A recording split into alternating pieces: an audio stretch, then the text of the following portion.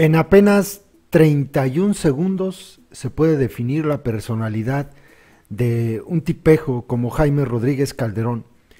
Está circulando un videíto de esa duración, 31 segundos, donde una persona se acerca a él, una señora, y le dice que llegó alguien a solicitar un apoyo ahí a Palacio de Gobierno, un aparato que necesita esta persona que no puede hablar, de hecho, dice la señora que se lo escribió en un papel, que ya había ido a solicitar el apoyo. Y esta mujer le dice al bronco la situación, se le explica. Y el bronco le responde de una forma que lo define tal y como es. Ahora les, les comentaré algo más. Le dice, ¿y por qué no lo apoyaste tú? Ah, caray. Y después le dice, con esa cadenita que traes ahí, le compras el aparato. O sea, y señalando una cadena, supongo, de algún metal eh, caro, no sé, oro, no lo sé. Con eso le compras tú el aparato. Está perfectamente definido quién es Jaime Rodríguez Calderón en 31 segundos. A veces creo que los políticos piensan que el dinero que manejan es de ellos es como si esta mujer le hubiese llegado a decir, oiga, présteme dinero para comprarle el aparato a esta persona que lo necesita. Pero dinero de él.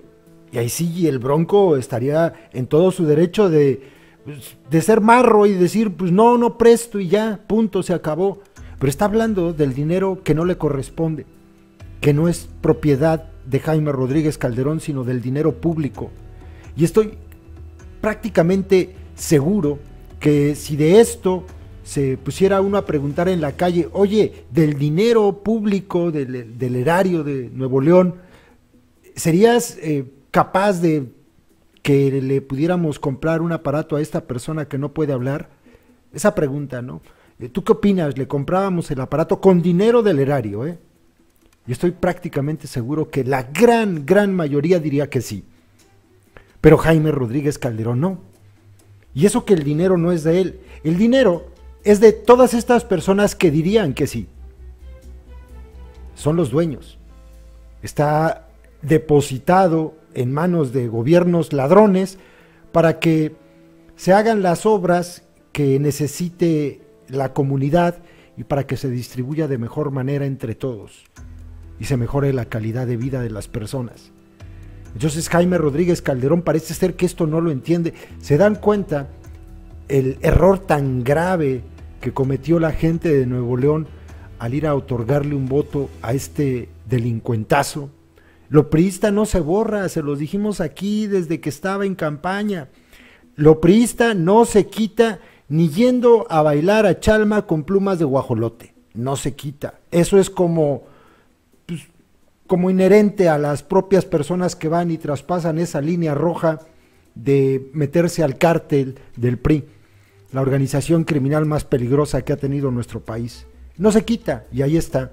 La verdad da mucho coraje escuchar al Bronco decir esto, es como, es grotesco incluso, ¿no? Grotesco. Ya es del nivel, hay que mocharles las manos a los ladrones, así de grotesco es.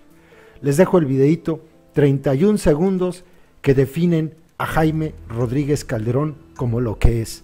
Mire, ayer, ingeniero, ayer vino una persona que me dio mucha tristeza, un señor ya grande que le faltaba un aparato y que no podía hablar. Y, me, y me, escribió y me dice, me, ya tengo tres años que el, que el sector salud me, me, prometió ese aparato.